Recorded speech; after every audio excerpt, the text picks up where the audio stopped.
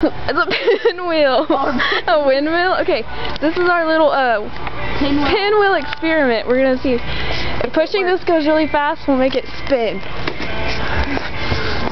It's working, it's working, it's working, it's working! oh my God!